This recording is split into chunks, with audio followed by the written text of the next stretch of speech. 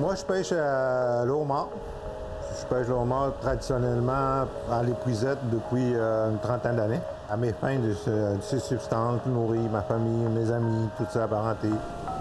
Puis cette année, on a eu un projet pilote du ministère des Pêches Océan Canada pour euh, pêcher à l'épuisette traditionnellement commerciale et vendre à des restaurateurs.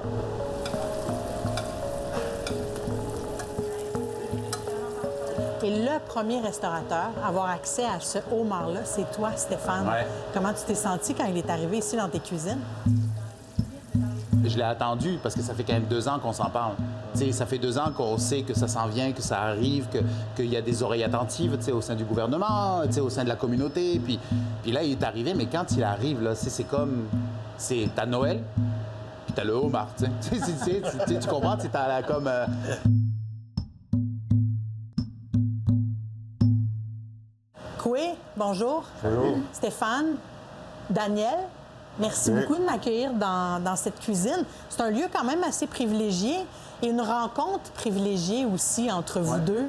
À quel moment vous vous êtes rencontrés pour la première fois? C'est bizarre parce que c'est. euh, Daniel, ça fait, ça fait quoi? Trois ans, peut-être? Trois ans qu'on se connaît à peu près? Oui. Moi, j'ai des amis à cette île et puis on a décidé d'aller à la pêche. On allait à la pêche au saumon sur, euh, sur une rivière. Puis on arrive à cette espèce d'aéroport de Bruce Beaver, là, tu sais, puis Daniel est là. Puis il dit euh, Ah ben venez les gars, si vous, vous allez en voyage de pêche, ben, je vais vous donner du saumon boucané.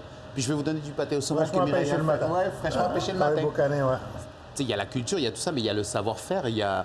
Tu sais, mais offrir quelque chose que tu te mets dans la bouche puis dans l'estomac, c'est nourrir quelqu'un, tu sais, entre guillemets. Mais c'est un peu ça que tu fais dans Mais la moi, vie, c'est ça que je fais hein? dans la vie. Fait que, tu sais, moi, ça, ça vient me chercher, tu sais. De pêcher le homard de cette façon-là, le homard n'est pas appâté.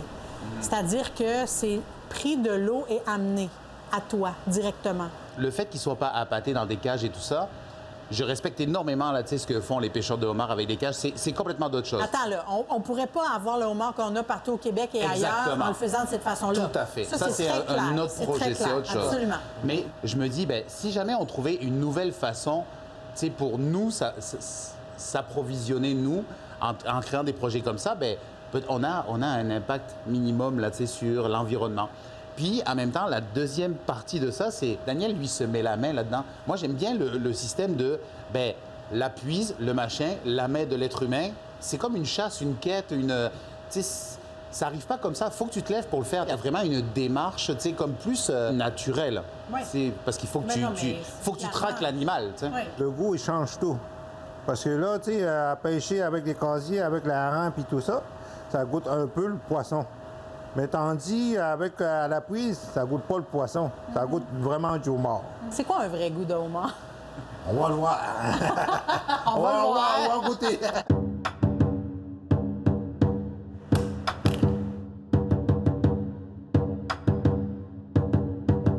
Juste la couleur, là, déjà en partant, c'est euh, beaucoup plus saumonné que blanc. Ouais. Mais moi, j'aime ça quand il est quand même, tu sais, rosé. Je pense qu'on le mange toujours un petit peu trop cuit. Mais Ça goûte le homard, mais je, j'ai l'impression que c'est, c'est beaucoup plus complexe que ce qu'on m'a déjà fait goûter auparavant. Il est doux, mais en même temps, il est frappant dans la clarté de ses goûts. cristallin. Moi, j'ai ça. cristallin, moi, tu sais. Quand je le mange, j'ai l'impression, là, tu sais, d'être sur, les- sur une piste de ski dans les Alpes, là, tu sais, puis c'est, tu sais, cette- cette sensation d'air frais, de, ben, ça goûte la mer. Ça goûte, ça goûte cette connexion-là, ça goûte l'amitié, ça goûte le voyage, ça goûte... C'est... Ultimement, c'est du homard. Voilà, ultimement, ça arrête ça. c'est- c'est- Mais moi, c'est ça qui m'intéresse.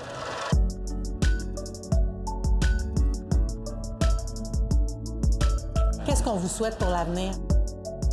J'aimerais ça, tu sais, à l'occasion d'avoir d'autres années de pêche commerciale demain pour euh, avoir de l'emploi chez les jeunes, tu sais, pour la transmission de leur culture. Si on avait une IGP, mettons, c'est le homard de.